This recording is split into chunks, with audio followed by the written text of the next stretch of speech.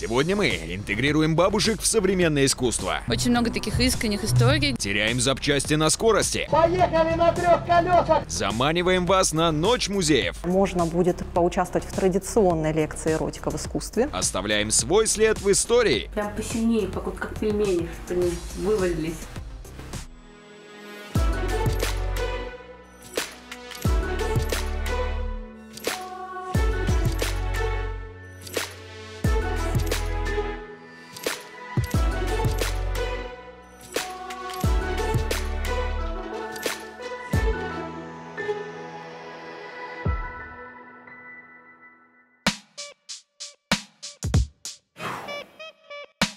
Не пойти бы вам в музей ночью.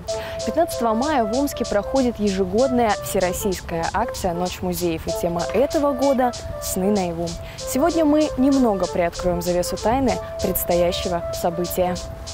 Ну и первым на нашем маршруте будет городской музей искусства Омска.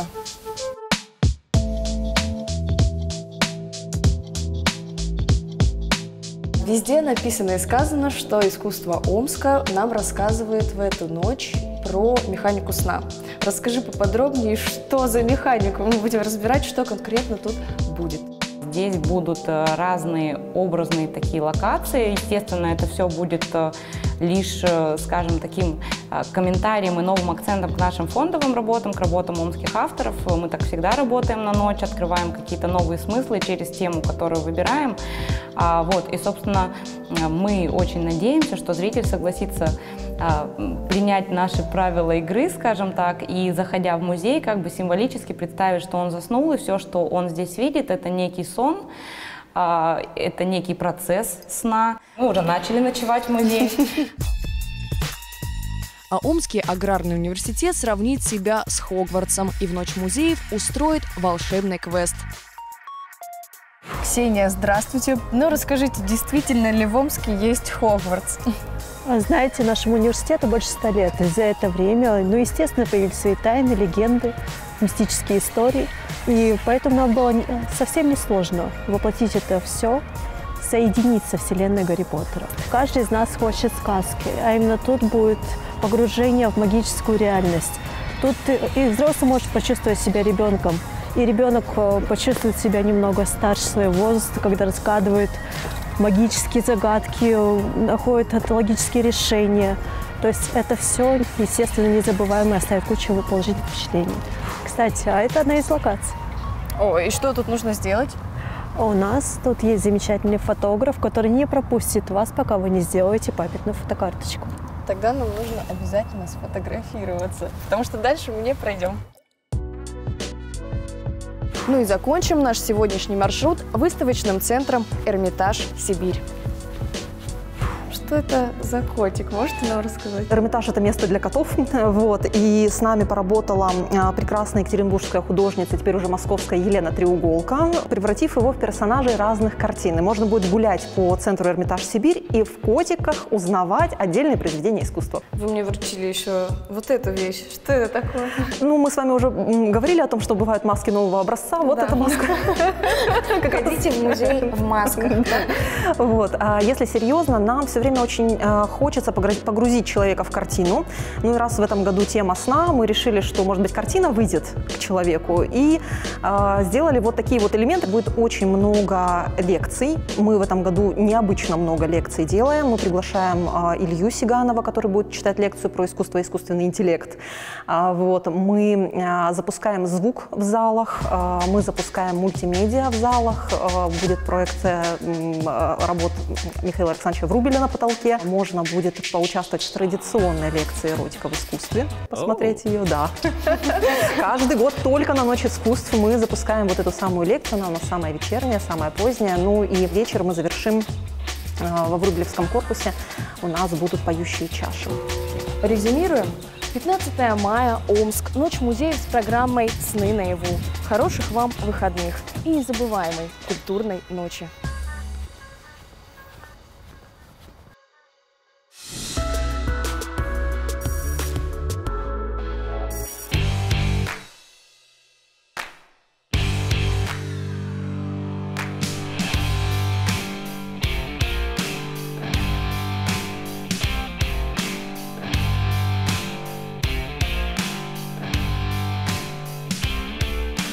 Всем привет! И мы сегодня находимся на Омском мотодроме ДСАФ.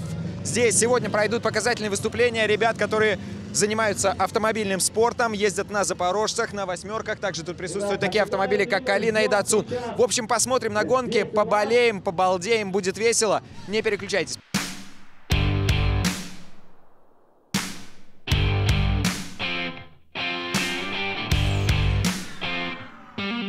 Знаете такую ситуацию, когда уже стоишь в коридоре обутый, а жена до сих пор не собралась? Вот сейчас точно такая же. Два пилота парня уже на старт стоят, а девушка, к сожалению, выехать на старт так и не смогла. Но это все шутки, на самом деле машина подвела и перед самым стартом заводиться отказалась. Вот так вот, видимо, сейчас... А, нет, вот, смотрите, все-таки догнала, вот подъезжает на старт.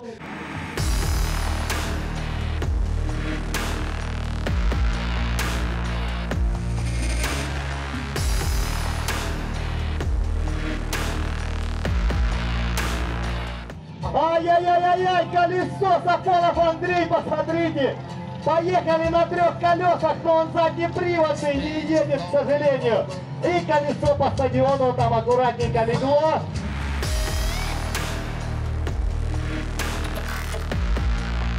Андрей, расскажи, пожалуйста, как прошли сегодняшние заезды? Я видел, у тебя и колесо отпадывало, да? И еще ходят слухи, что мотор стуканул. Да, мотор стуканул на предпоследнем заезде, из-за этого не смог выехать на последний заезд и пришлось заменять э, машину.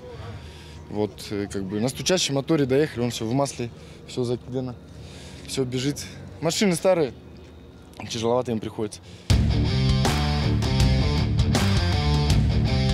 И первое место Андрей Приходько! Андрей, вы сегодня стали чемпионом этого заезда. Этот праздник, да, технический, он идет вам в какой-то зачет? Выгодно ли вообще было выиграть сегодня? А, было почетно выиграть сегодня, именно сегодня, в День Победы. А, и это самое главное. Вы сегодня говорили, я слышал, что можно приходить детям к вам в секцию заниматься, да? Это вот с какого возраста можно ребенка А, отправить? Такая полезная информация для Да, зрителей. ну с 9, с 9 лет до 16 мы приглашаем на фигурное вождение, на занятия на запорожцах можно сделать свой запорожец и заниматься. Поэтому всех детей, кто любит автомобильный спорт, приходите, занимайтесь. Тренер есть, Александр Фабрицус, поэтому готов обучить каждого передать свое мастерство. Ну и может сейчас меня чуть-чуть подучите. Пойдемте Да, попробуем? давайте попробуем. Сейчас автомобиль найдем и вы проедете. Пойдем, парни. Пару слов и. А, говорят, сцепление жесткое, но я попробую не заглохнуть.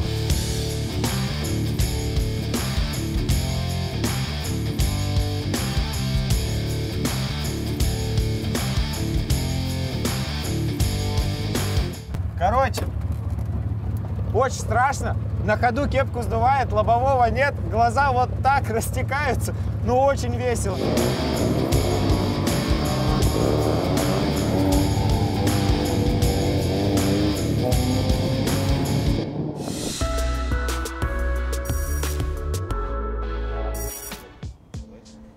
Всем привет! Свое свободное время сегодня я провожу вместе с археологом Максимом Грачевым. Максим, здравствуйте. Добрый день. А, Максим, скажите, пожалуйста, вы ведь не зря, когда мы назначали встречу, предложили встретиться именно на этом месте, на музейной. Чем это место интересно для археологов? Ну, для археолога здесь прям такая точка смыслов, а, потому что, во-первых, здесь Эрмитаж Сибирь, здесь лежат находки, которые в том числе я передавал в этот музей. А, мы с вами стоим на брусчатке. Такая вот плитка у нас с вами Да, под ногами верно. красивая. Это я вижу. Но на самом деле мы с вами стоим на древнем кладбище. Когда на этой улице одновременно с реконструкцией музея проходила реконструкция э, теплосетей, которые вот здесь вот э, проложены, зоркие граждане увидели, что, возможно, нарушается культурный слой э, места древнего поселения. Нас попросили подтвердить либо не подтвердить этот факт. Мы провели там небольшой цикл археологических работ и увидели, что да, Здесь в эпоху раннего железа жили э, носители так называемой саргатской археологической культуры. Ну, чтобы было проще и понятней, это близкие в культурном плане родственники скифов. Но э, пока мы этот факт устанавливали, мы увидели, что на дне траншеи есть еще пятна. И когда эти пятна стали расчищаться, и там нашли захороненного с предметами человека.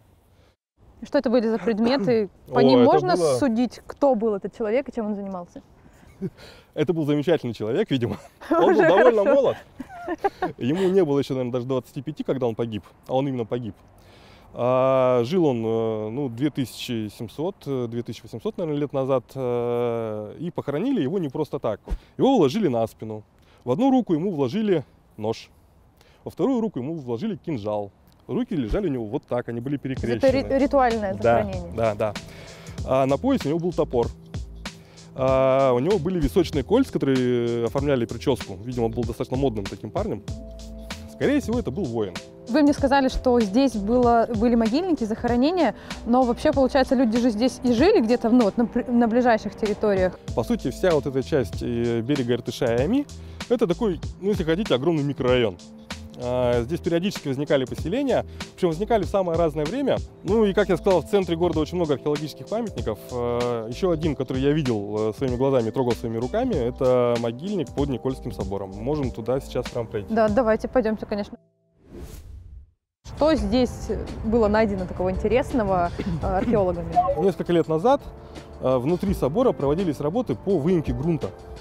Внезапно были найдены и кости. Ну, как оказалось, кости человеческие. Это захоронение можно э, отнести было к андроновской археологической культуре. Это археологическая культура эпохи бронзы. И захоронение здесь тоже оказалось не одно.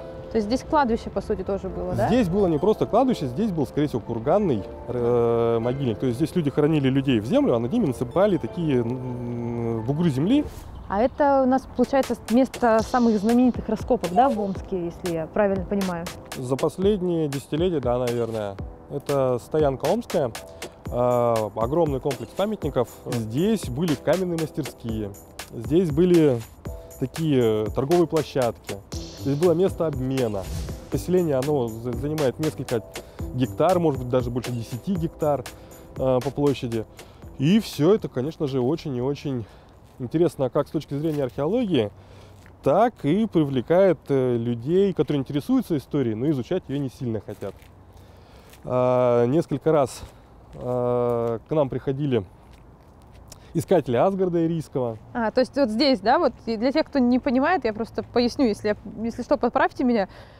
В день трех лун 102 года э, на месте пересечения рек Ир- Иртыша, нынешнего, раньше он назывался Ирий и Ом, был, э, на- была начата постройка Асгарда Ирийского, того самого города, который многие конспирологи, я так понимаю, ищут. Я не знаю, в какой день, какого года и какой луны это было, и было ли это вообще. Поскольку это самое древнее поселение, ис- изученное хотя бы частично археологами на территории города, поскольку оно достоверно есть, именно вот это место в последнее время, да, притягивает э, таких вот конспирологов, э, любителей э, фолк-хистори и вот э, всех-всех таких вот э, искателей. Вы меня очень заинтересовали вот всякими этими раскопками, интересными историями. Возьмете меня с собой в качестве ассистента на какие-нибудь следующие ваши раскопки? Да ради бога, приезжайте. А Куда можно будет с вами отправиться? Мы будем ездить по Омской области, э, посещать уже открытые археологические объекты, э, смотреть, в каком состоянии они находятся и устанавливать их границы. Это очень интересно. Если получится, ради бога, поехали. Спасибо вам большое за прекрасную такую прогулку, за интересные факты. И кажется, я знаю, как я буду проводить свое свободное время уже этим летом. Было бы неплохо.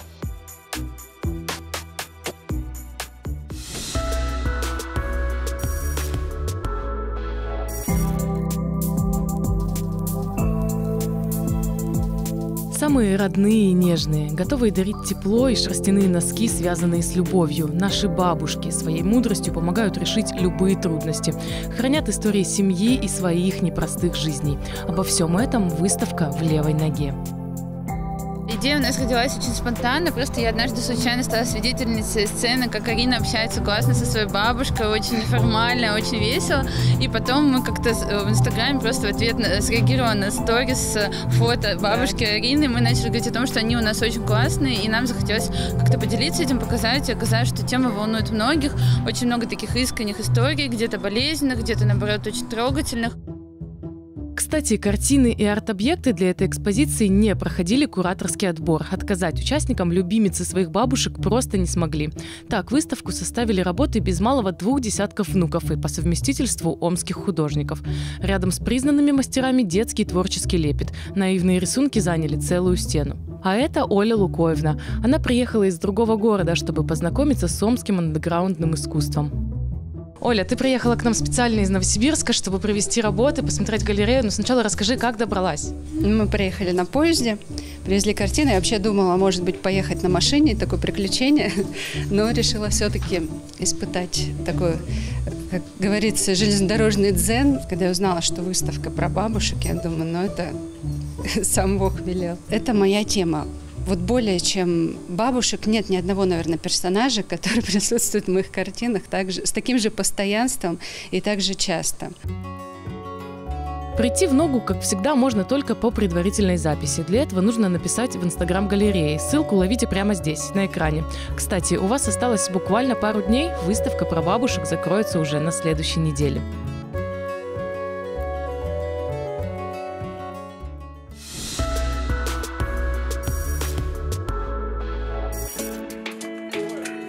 Один за всех и все за одного. Вадим Шенфельд впервые взялся за шпагу три года назад.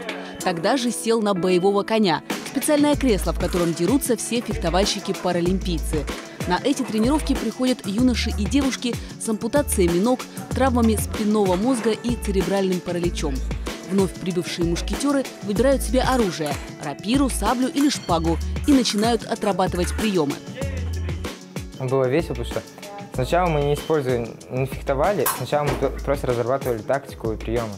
И на мишени фехтовали, мишени кололи. Потом мы еще играли растягиваться, все, что потом постепенно мы смогли привыкнуть и фехтовали, и фехтовать. Любопытство и азарт заставили Вадима нацелиться на чемпионат России. В конце апреля он вернулся из Уфы уже мастером спорта и серебряным призером соревнований. Там были серьезные соперники, и из одного из соперников, которых я выиграл, это был Карпов Михаил.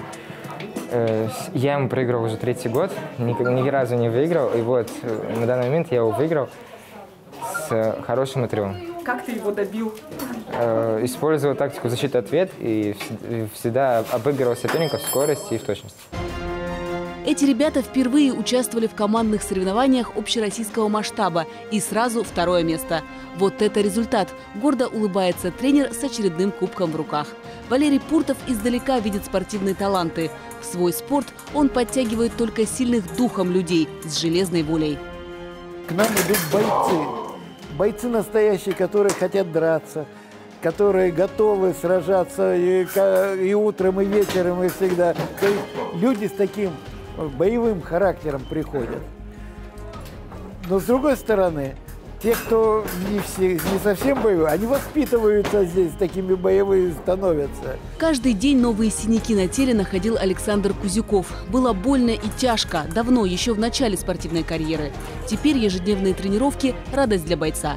Здесь, в зале, он нашел любимое дело и верных друзей-мушкетеров. Великолепная четверка из Омска едет на летнюю Паралимпиаду в Токио. Очень хочется, очень этого желаю, э, скажем так, состояние такое, что слишком долгие годы к этому мы шли, да, слишком много чего нам предстояло выдержать, вытерпеть. Нисколько не страшно, просто хочется в бой, хочется, чтобы этот праздник жизни был с нами. Мне очень сильно повезло в жизни. Можно было бы фехтовать всегда, я бы всегда фехтовал. Потому что лучшая на свете работа это у меня. В августе в Японии будет разыграно 16 комплектов медалей в фехтовании на колясках. Все свободное время болеем за наших.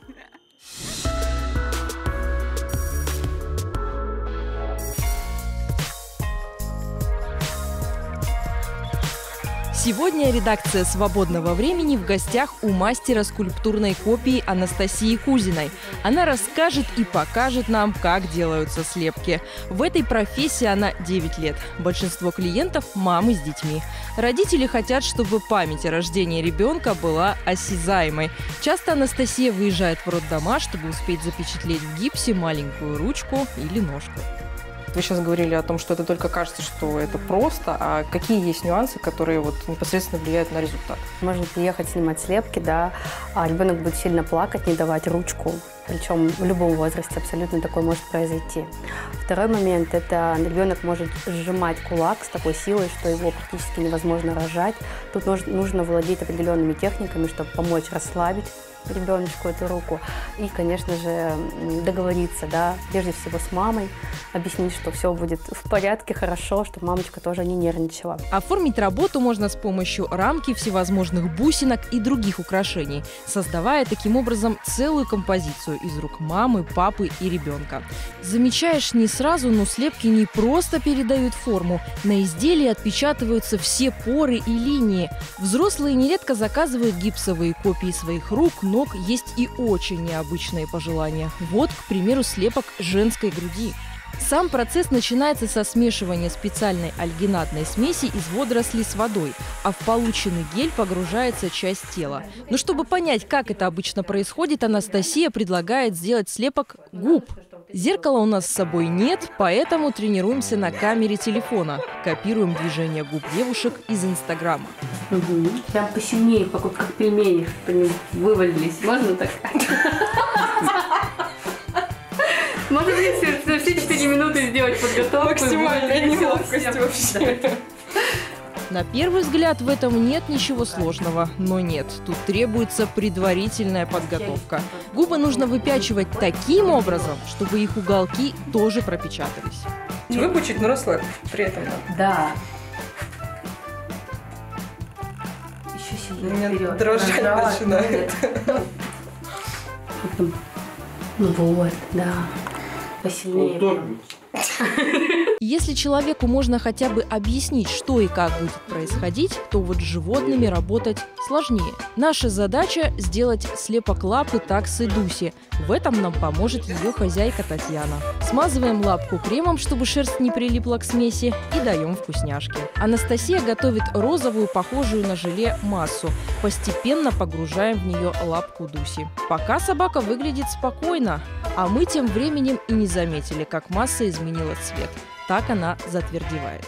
Я сначала не могу понять, думаю, что такое, что у меня с балансом, а потом понимаю. Я Что цвет изменился? Да, я тут смотрю только туда. Зая, зай. Дусь. Дуся, да ты умница. Умница. Сейчас немножко еще подожди. Достаем лапу. Дусе эта процедура нравится гораздо меньше, чем погружение. Но в итоге все получилось. Теперь будем пробовать делать слепок носа. Выходит, не с первого раза. Не пропечаталась одна ноздря. Тихо, Дуся, Дуся, Дуся, будь умницей.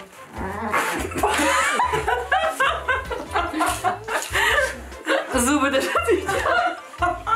Заливаем в получившиеся формочки гипс и будем ждать, пока застынет.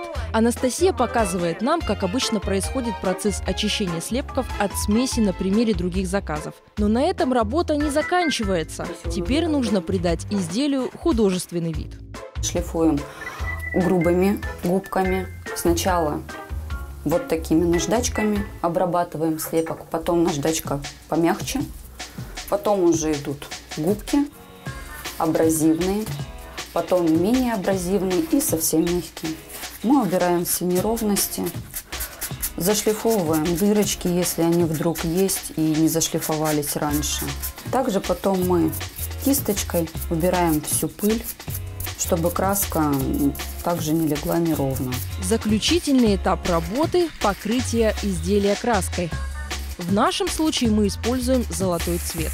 Видно, как точно передались на слепки подушечки, лапы, когти, следы шерсти. Чтобы добиться оригинального художественного эффекта патины, мы покроем лапу еще одним слоем краски. Наша задача не допустить полного высыхания, потому что мы сейчас будем убирать излишки краски. Вот такой результат у нас получился. Так по итогу выглядят слепки лапы, носа и губ.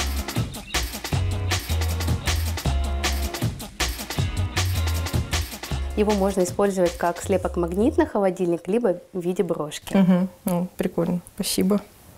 Да, подходит под рубашечку.